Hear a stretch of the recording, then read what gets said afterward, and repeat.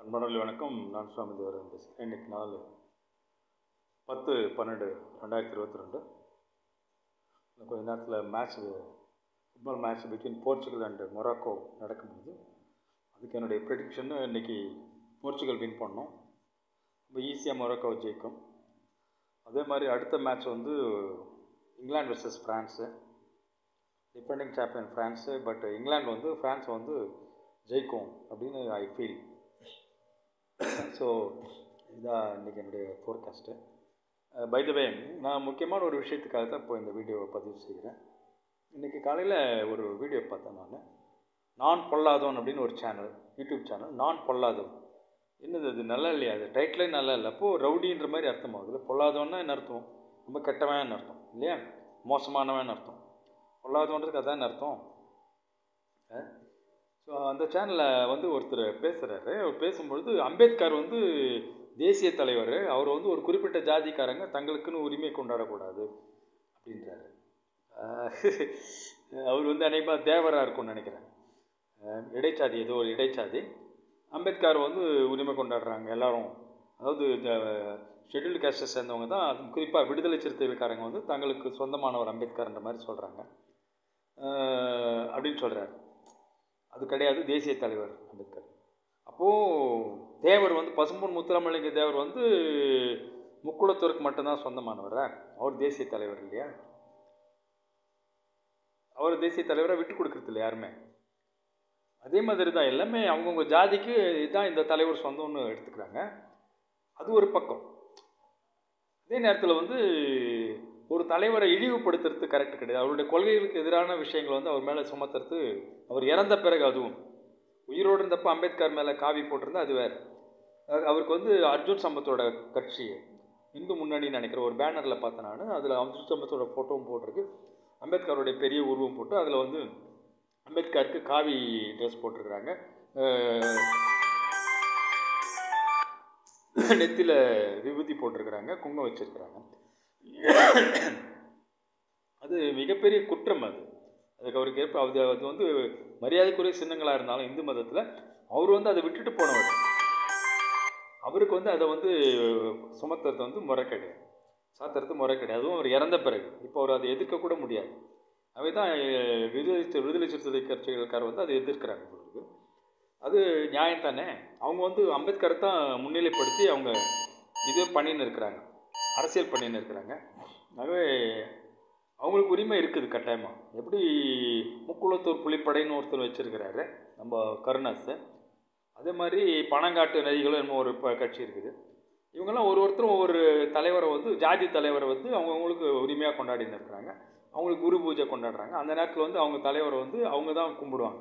மீதி பேர் கும்பிடலாமே தவிர அவங்க இஷ்டம் போல் எதுனா பண்ண முடியாது. அப்படி இருக்கும் பொழுது ஒரு ஒரு குறிப்பிட்ட ஜாதிக்கு ஒரு ஒரு தலைவர் கிடையாது. அந்த ஜாதி அமை குறிப்பாக அம்பேத்கருக்கு வந்து ஜாதி கிடையாது. அவர் ஜாதியை விட்டு வெளியே வரணுன்றதுக்காக தான் அவர் இந்த ஜாதி தீண்டாமை வந்து இந்து மதத்தில் இருக்குது ஜாதிய வர்ணாசிரமம் இந்து மதத்தில் இருக்குது வேறுபாடுகள் மனிதனுடைய பிறப்பின் அடிப்படையான வேறுபாடுகள் இருக்குன்றதுக்காக தான் அந்த மதத்தை விட்டுட்டு அவர் புத்த மதத்துக்கு போனார். புத்த மதத்தில் ஜாதி கிடையாது சொல்லிட்டு. ஆக ஜாதியை தூக்கி பிடிச்சுங்கிற யாருக்குமே அம்பேத்கருக்கு அவங்களுக்கும் சம்மந்தம் கிடையாது. அவங்க எந்த ஜாதியாக இருந்தாலும் சரி எந்த கட்சியாக இருந்தாலும் சரி. ஜாதி அடிப்படையிலான கட்சிகள் ஜாதி அடிப்படையிலான உணர்வுகளை கொண்டவங்க வந்து அம்பேத்கரை தங்களுக்கு சொந்தமானவர் சொல்லிக்கிறது அர்த்தமே கிடையாது. அது இந்த நான் பொல்லாதவன் கூட சரி. தேசிய தலைவர் தான் அவர். ஆனால் உங்களுக்கெல்லாம் தலைவர் கிடையாது.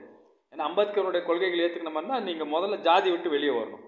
ஜாதி விட்டு வெளியே வரது தமிழ்நாட்டில் நூறு நூற்றுக்கு தொண்ணூத்தொம்பது பேர் ரெடி கிடையாது. நூற்றுக்கு தொண்ணூத்தொம்பது பேர் ஜாதியை பிடிச்சின்னு தான் இருக்காங்க ஏதோ ஒரு பர்சன்ட் ஷெடியூல்டு காஸ்ட்டில் ஷெடியூல்டு காஸ்ட்டில் இருக்கிறவங்க என்ன மாதிரி ஆளுங்க தான் ஜாதியை விட்டுருப்பாங்க. அது வேணான்ட்டு. அம்பேத்கர் அது மாதிரி விட்டவர் தான். ஜாதி வேணான்னு விட்டுட்டு தான் அவர் வந்து ஜாதியிலேருந்து வெளியே வரணுன்னாக்கா இந்து மதத்திலேருந்தே வெளியே வரணும்னு சொல்லிட்டு தான் அவர் புத்த மதத்துக்கு போனது. ஆகவே அம்பேத்கர் வந்து ஜாதிய தலைவர் கிடையாது. இன்றைக்கும் விசிக்கா கூட அவர் வந்து தூக்கி பிடிக்க வேண்டிய அவசியம் கிடையாது. இப்போ விடுதலை சிறுத்தைகள் கட்சிகள் வந்து பொதுவாக வந்து ஷெடியூல்டு காஸ்ட்டுக்கான ஒரு கட்சின்ற மாதிரி ஒரு முத்திரை ஆயிடுச்சோ அப்போ அம்பேத்கர் உங்களுக்குரியவர் கிடையாது. ஏன்னா அவர் ஷெடியூல்டு காஸ்ட்னு அவர் ஏற்றுக்கல அதுலேருந்து வெளியே வந்துட்டார். எப்போ இந்து மதத்துலேருந்து அவர் வெளியே வந்தார் அப்போ ஒரு ஜாதி கிடையாது. இந்து மதத்துலேருந்து வெளியே வந்தவங்களுக்கு புத்திசத்தை ஃபாலோ பண்ணுறவங்களுக்கு அம்பேத்கரை வந்து உங்களுக்கு நீங்கள் உரிமை கொண்டாட முடியும். கட்டாயமாக விசி கேட்காருங்க ஆனால் விசி கேட்காரவங்க இத்தனை பேர் உண்மையாகவே புத்திஸ்ட புத்திசத்தை ஃபாலோ பண்ணுறாங்களா ஜாதி இல்லாத ஒரு மதத்தில் இருக்காங்களா? இப்போ வன்னி அரசெல்லாம் கூட கிறிஸ்டின் போல் இருக்குது. தொல் திருமாவளம் கூட கிறிஸ்டின் தான் போல் இருக்குது. கிறிஸ்டியானிட்டியில் ஜாதி இல்லைன்னு யார் சொன்னது? தெற்க போய் பாருங்கள் நாயுடுங்க தான் டாமினேட் பண்ணுவாங்க. என்ன இந்த தென்னார்காடு மாவட்டத்திலலாம் நான் நாயுடு சாமியாருங்க தான் டாமினேட் பண்ணுவாங்க. வர சாமியார்களுக்கு மரியாதை கிடையாது. அவங்களுக்கு முக்கியமான பொறுப்பு கொடுக்க மாட்டாங்க. சதன் சைடில் போனீங்கன்னாக்கா நாடார் சாமியாருங்க இந்த மாதிரி நாடார் சாமியாருங்களும் இந்த நாயுடு சாமியாருங்க இவங்க தான் வந்து டாமினண்ட்டாக இருப்பாங்க. மற்ற கம்யூனிட்டிக்காரங்க அதிகமாக வந்து சாமியாராக இருக்க மாட்டாங்க. பட் பறையருங்க ஆகிருப்பாங்க ஏன்னா பறையர்களுக்கு வந்து இந்து மதத்தில் வந்து அங்கீகாரம் கிடையாது. அவங்க நிறைய பேர் கிறிஸ்டியனை கன்வெர்ட் பண்ண கன்வெர்ட் ஆகிக்கிறாங்க கிறிஸ்டியானிட்டியில் அவங்களுக்கு வந்து ஜாதி இல்லைன்னு சொல்லுவாங்களே தவிர ஜாதியை கரெக்டாக கண்டுபிடிப்பாங்க சாமியாருங்க.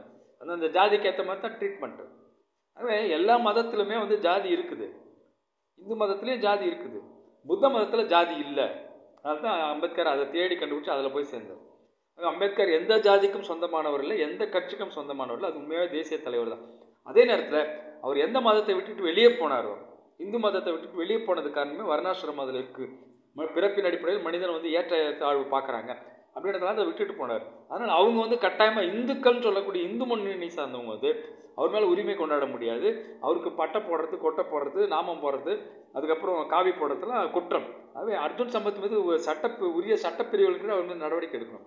போஸ்ட் மஸ்ட்லி டாக்டர் பட்டம் கொடுக்குற மாதிரி போஸ்ட் மஸ்ட்லி நம்ம எம்ஜிஆருக்கெலாம் பாரத் ரத்னா கொடுத்த மாதிரி அம்பேத்கருக்கு போஸ்ட் மஸ்ட்லி ஹிந்து சாயம் பூசுறது தப்பு. அது குற்றம். அதுக்கு நம்ம அர்ஜுன் சம்பத் மீது உரிய நடவடிக்கை எடுக்கணும். அந்த பேனர் வச்சவங்க மேலே நடவடிக்கை எடுக்கணும்னு தமிழக முதல்வர் அவர்களையும் டிஜிபி அவர்களையும் அன்போடு கேட்டுக்கிறேன் அதே நேரத்தில் அர்ஜுன் சம்பத் மீது ஒரு அர்ஜுன் சம்பத்தை ஹைகோர்ட் வளாகத்துக்குள்ளே வக்கீலுங்க வந்து கேரப் பண்ணுறாங்க அது நல்லா இல்லை. அதுவே அது அந்த வக்கீலுங்க யார் கண்டுபிடிச்சா அவங்களுக்கு மேலே சட்டப்படி நடவடிக்கை எடுக்கணும். அவர் நகர விடாமல் கீழே உட்கார வச்சுட்டாங்க. அவருக்கு வந்து ச ஒரு ஹைகோர்ட் வளாகத்துக்குள்ளேயே அவர் விரும்பின இடத்துக்கு போக முடியல சுதந்திரம் இல்லைனாக்கா இப்போ என்ன சட்டம் ஒழுங்கு இருக்குது தமிழ்நாட்டில்? அவர் வந்து தடுக்கிறாங்க போகிறதுனாக்க அது தப்பு இல்லையா? அந்த வக்கீலுங்களாம் பிடிச்சி அரெஸ்ட் பண்ணி உள்ளே போட்டு அர்ஜுன் சம்பத்துக்கு வந்து கோர்ட்டுக்கு போயிட்டு வரதுக்கு அனுமதி இருக்கணும். தமிழ்நாடு சட்டம். ச- சட்டத்துறை அது தமிழ்நாடு காவல்துறை. அதை செய்யலை.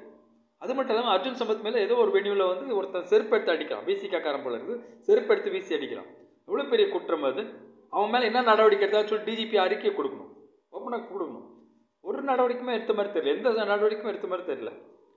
அப்புறம் வன்னி அரசு இன்னொரு இடத்துல பேசும் பொழுது அர்ஜுன் சம்பத்தை வந்து குறிப்பிட்ட ஒரு பேர் மாதிரி பேசுகிறாரு அப்போ வந்து அவர் மேலே ஒரு கீரல் கூட படாமல் நம்ம பார்த்துக்கணும் அப்படின்ற. அதாவது கிண்டலா சர்க்கஸ்டிக்கா அப்படின்னா என்ன அர்த்தம்? பொழந்து கட்டினா கூட கேட்கறதுக்கு எவனும் கிடையாதுடா தமிழ்நாட்டில்னு அர்த்தம். ஸ்டாலினோட கவர்மெண்ட் நடக்குது இங்கே சட்டம் ஒழுங்கு கிடையாது. நம்ம தான் ராஜா நம்ம வச்சு தான் சட்டம். நம்ம வந்து அவங்க ஆளுங்கட்சியோடு கூட்டணியில் இருக்கிறோம். நம்ம என்ன வேணா பண்ணலான்னு அர்த்தம். அவ்வளோ கிண்டல் அவ்வளோ சர்க்காஸ்டிக்காக இந்து முன்னணி தலைவரை பேசுறது எப்படி நியாயம்? கருத்தியலை கருத்தியலோடு தான் மோதணும். அவங்க பண்ணது குற்றம்னாக்கா சட்டப்படி தானே நடவடிக்கை எடுக்கணும். கேரோ பண்ணுறது கூட்டம் போகிறது செருப்பு தூக்கி அடிக்கிறது எப்படி நியாயம்? தொல் திருமாவளம் இதெல்லாம் வந்து கட்டாயமாக கண்டிக்கணும். அவங்க மேலே நடவடிக்கை எடுக்கணும். காவல்துறை வந்து அவங்க மேலே யாருன்னு கண்டுபிடிச்சு செருப்பு தூக்கி போட்டவங்க யாருன்னு கண்டுபிடிச்சு அவங்க மேலே நடவடிக்கை எடுக்கணும். அதை பற்றி அறிக்கை வெளியிடணும். இது இப்போ நடந்தாக்க நாளைக்கு கட்டமாக ஸ்டாலின் மேலே செருப்பு தூக்கி போடுவான் ஒருத்தன். இது நடக்கும். ஸ்டாலின் வந்து எல்லாருக்கும் ஃப்ரெண்ட்லி சிஎம்லாம் கிடையாது. இன்னும் எதிர்க்கட்சின்னு ஒன்று இருக்குது. அட்லீஸ்ட் பிஜேபிக்காரங்க இருக்காங்க ஸ்டாலினுக்கு எதிராக எவனா ஒருத்தர் செருப்பை தூக்கி போடுவான். அது நடக்கும். பிடிஆர் பழனிவேல் ராஜன் மேலே செருப்பு தூக்கி போட்டவங்க மேலே என்ன நடவடிக்கை எடுத்தாங்கன்னு தெரியல காவல்துறை. ஆக இப்படி ஒவ்வொரு தலைவர் மேலேயும் அவங்க போகும்போது செருப்பு தூக்கி தூக்கி அடிச்சிருந்தாக்கா என்ன சட்டம் ஒழுங்கு தமிழ்நாட்டில்? வன்மையாக கண்டிக்கத்தக்கது. ஸ்டாலின் கவர்மெண்ட்டை டிஸ்மிஸ் பண்ணணும்னு சொல்லிட்டு நான் நரேந்திர மோடி அவர்களையும் அமித்ஷா அவர்களையும் அன்போடு கேட்டுக்கொள்கிறேன். PTR Palanivel Rajan. Palanivel Thiagarajan. Sitting minister அதுவும் finance minister next only to the CM அவருடைய கார் மேலே அவர் அவரை குறி வச்சு தான் தூக்கி போட்டது அவர் கார் மேலே போய் விழுந்தது. அந்த செருப்பு அந்த செருப்புக்கு சொந்தக்காரங்க யாருன்னு கூட தெரியுமா அவருக்கு? ஆனால் அவங்க மேலே என்ன நடவடிக்கை எடுத்தாங்கிற அறிக்கை இதுவரைக்கும் டிஜிபி கிட்டேருந்து வரல. எந்த யூடியூப்லேயும் வரல. எந்த சோஷியல் மீடியாலும் வரல. எந்த டிவிலையும் வரல. என்ன நடவடிக்கை எடுத்தாங்க? அவங்களுக்கு பாதுகாப்பு கொடுத்துன்னு இருப்பீங்களா அப்போது செருப்பு தூக்கி அடிக்கிறவங்களுக்கு கள்ள தூக்கி அடிக்கிறவங்களுக்குலாம் என்ன சட்டம் ஒழுங்கு இருக்குது அரசியல் எப்படி செய்ய முடியும்? சாமானியமான தலைவர்கள் எப்படி அரசியல் செய்ய முடியும்? பெரிய பெரிய தலைவருக்கு பிடிஆர் பழனிவேல் தியாகராஜன்னா இப்போ ஆளுங்கட்சியில் சிட்டிங் ஃபைனான்ஸ் மினிஸ்டருக்கே பாதுகாப்பு கிடையாது செருப்பு தூக்கி அடிக்கிறாங்க. இந்து முன்னணி தலைவர் வந்து பிஜேபி கவர்மெண்ட் சென்ட்ரல் ஆளுது. அவங்களுடைய ஒரு ஆள் இங்கே வந்து அவர் என்ன அவர் தப்பே பண்ணியிருந்தா கூட அவருக்கு சட்டப்படியில் நடவடிக்கை எடுக்கணும். அவர் மேலே செருப்பு தூக்கி அடிக்கிறான் ஒருத்தன் நடுவில் உட்காந்துக்கிறார் தரையில் அவர். எங்கேயும் போக முடியாமல் என்ன சட்டம் ஒழுங்கு தமிழ்நாட்டில்? இதுக்கெல்லாம் வந்து டிஜிபி அறிக்கை கொடுக்கணும் கட்டாயமாக அட்லீஸ்ட் அந்தந்த டிஸ்ட்ரிக்டோட எஸ்பியாவது அறிக்கை அறிக்கை கொடுக்கணும். சென்னையில் நடக்கிறதுக்கு சென்னை கமிஷனர் வந்து அறிக்கை கொடுக்கணும். என்ன நான் என்ன நடவடிக்கை எடுத்தாங்க அந்த ரவுடிங்க மேலேன்னு சொல்லிட்டு. நன்றி வணக்கம். ஆகவே ஸ்டாலினுடைய கவர்மெண்ட் உடனடியாக கவ கலைக்கு ஆவணம் செய்ய வேண்டும் என்று மத்திய சர்க்காரை அன்போடு கேட்டுக்கொள்கிறேன். நன்றி வணக்கம். ஷிவ் ஓம்.